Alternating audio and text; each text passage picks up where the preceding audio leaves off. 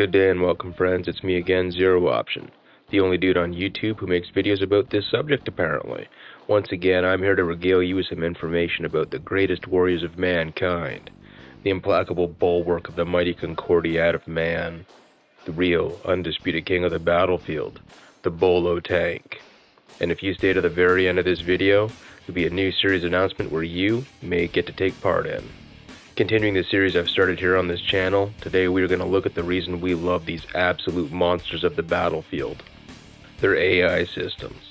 Let's face it, 90% of the stories we love about these beasts, they're told from the perspective of the AI personalities themselves. From Nike to Shiva, there's something utterly refreshing about war told from the perspective of the weapons being used during it. So to begin, in canon, there's really only two categories of AI and that is autonomous and non-autonomous. And, well, that's really boring. Really, really boring. So I've gone ahead and churched it up a bit. I have redone the categories. Now I've got four. Why? Because I want to pad the runtime a little bit. Sue me. You'll see why in just a second. So category number one, no AI. I'm just going to get this one out of the way right now. Marks 1 to 20 did not possess what qualifies as AI in universe. So we can just discount two-thirds of all the bolos right then and there. Now do you see why I wanted to pad the runtime just a little bit? So, moving on. Category 2 would be Limited Sapient AI, marks 20 to 23, from year 2796 to 2961.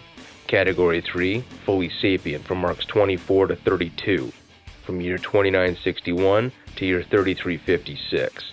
And the final category, Fully Symbiotic, from Mark 32 to Mark 34, year 3356 onwards. So let's get a little bit more detail on each of the categories from 2 to 4. Marks 20 to 23 were in Category 2, Limited Sapience. This is where the Concordiat first introduced psychotronic circuitry into their Bolo tanks. This firstly enabled true self-aware artificial intelligence, despite being rather bloodthirsty in their personalities. However, being a very new technology, humans were kept in the loop for all strategic decisions. And for those who don't speak in military parlance, strategy is the overarching set of planner goals during a war. For example, changing strategies is like trying to turn around an aircraft carrier. It can be done, but not quickly. Tactics are the specific actions and or steps that you take to accomplish the overall strategy. Or in normie terms, Humans will set the goals and rules of engagement, and then let the Bolo decide how and with what it will use to accomplish the goal set before it. But there were also safeguards, such as the Rosartus Protocol and the Omega Worm, both of which were specifically designed to wipe out psychotronic circuitry if the Bolo ever went rogue, senile, or suffered irreparable damage to its circuitry. This increase in autonomy initially came at a steep price and loadout.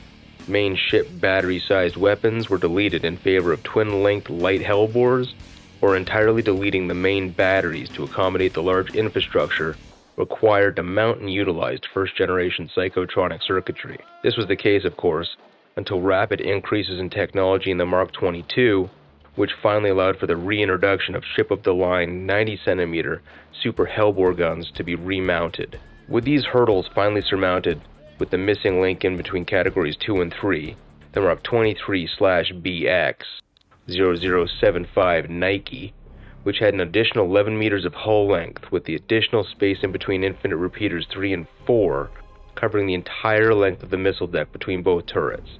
An experimental unit of the Enhanced Combat Capabilities Program was to incorporate a secondary brain and the first truly human sounding Bolo.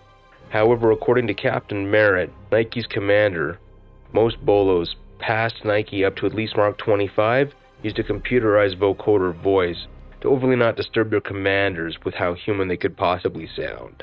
Category 3 Fully Sapient. The first production Bolo Mark 24 Cognitus were essentially the Nike variant, but with a reduction from 2 back to 1 main battery turret.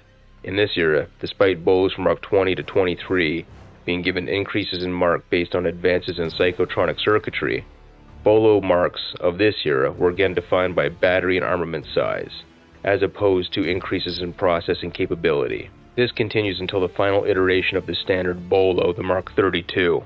The main difference of this variation of psychotronics is the Bolo personalities were finally allowed increasing levels of strategic control as threats became more frequent and dangerous, especially in the case that their commanders could be incapacitated or killed in battle, while the Bolo could theoretically remain operable and combat effective. This led to the culmination of the final iteration of psychotronics in our final category. Category 4 Symbiotic. From the Mark 32 onwards, all Bolos had a direct neural link between the commander pilot and the Bolo itself. When the commanders would enter the crash couch, which is a self contained pilot cockpit's life support interface and escape pod, they would directly interface with the psychotronic circuitry that contains the AI. This allows for the perfect fusion of the pure numerical logic of the Bolo AI and the killer instinct of the human on the battlefield. This is exemplified by Mark 33 1097's Shiva during the intro from Time to Kill. It's difficult to accurately describe in contemporary means, you know, from franchises that are more popular and well known for normies. So, my 40k fans, you'll get this one, and because it's the easiest one to Google, it's similar to being the princeps of a titan. Speaking of, my first in the Bolo versus series will be coming up, where we will pit the Mark 33 versus various sci-fi franchises, see which is truly overpowered and which will come out on top. And first up will be the Mark 33 versus a full Titan Legion from Warhammer 40k. Well, I'm writing the script this week. Hopefully we'll get it recorded and polished. Maybe released next week, but IRL is a thing. So with that, guys, thanks for sticking around. If you like what I do, hit that like and sub button. There'll be plenty more Bolo content coming up. And with this new Bolo versus series, I will take your suggestions in the comments down below. And with that, guys, have a great day. Peace out.